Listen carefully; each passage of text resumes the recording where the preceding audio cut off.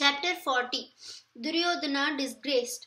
The Kauravas reached Dvaitavana with a great army and many followers. Duryodhana and Karna went with unconcealed joy at the very thought of being able to gloat on the sad plight of the Pandavas.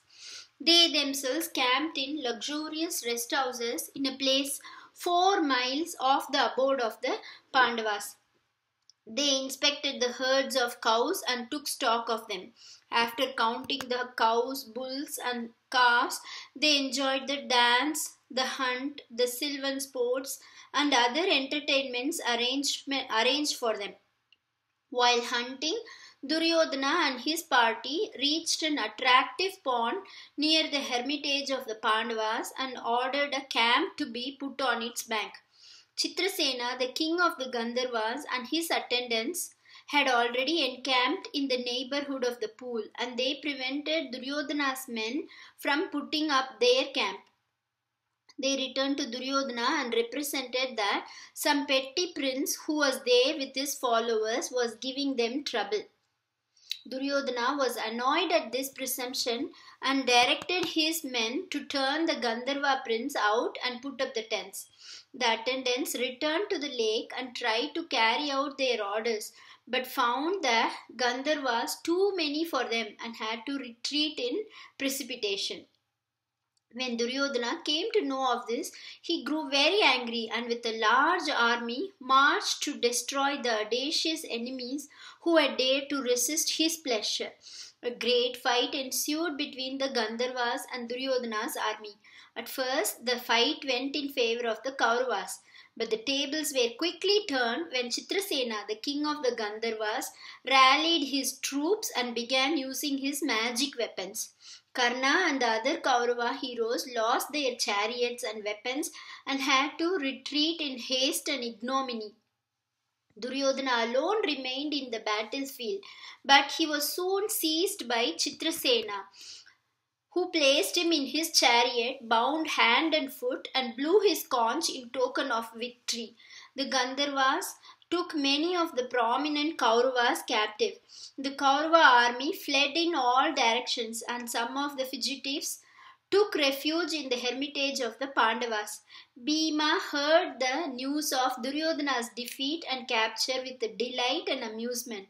He said to Yudhishthira, These Gandharvas have done our job for us.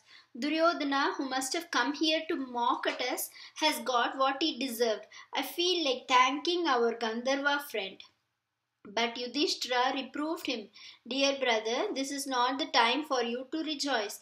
The Kauravas are our kith and kin, and their humiliation at the hands of strangers is ours. We cannot hold back and take this lying down. We must rescue them. Bhima did not think this very reasonable.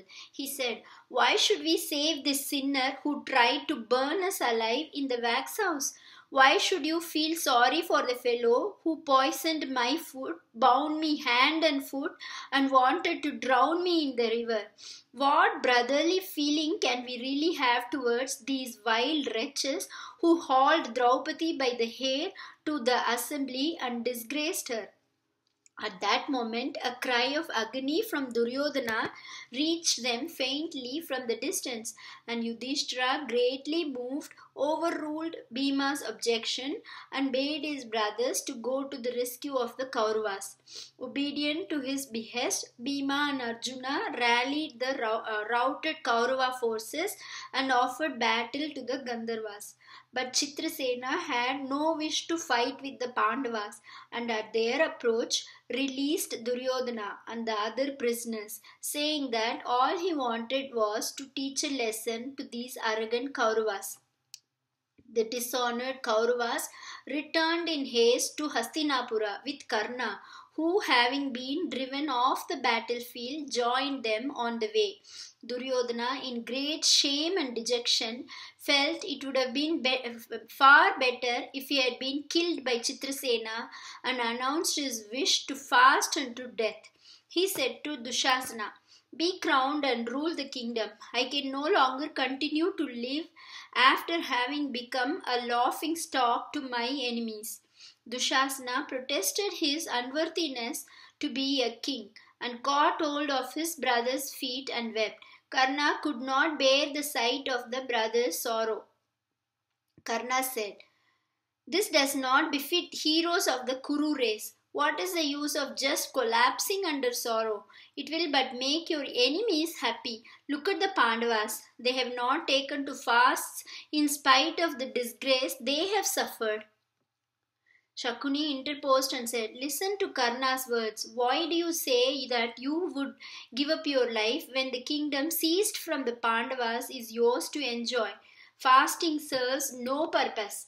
For if you really repent of what you have done till now, you should make friends with the Pandavas and give them back their kingdom.